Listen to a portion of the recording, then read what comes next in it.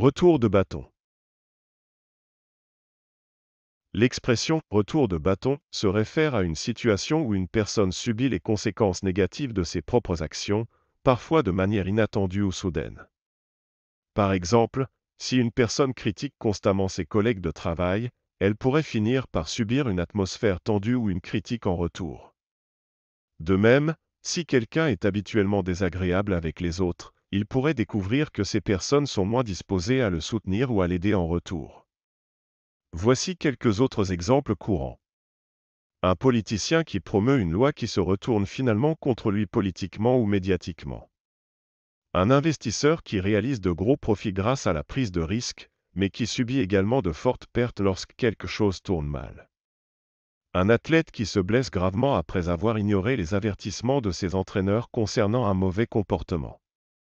En somme, le retour de bâton se produit lorsque nos actions ont des conséquences négatives qui nous atteignent directement.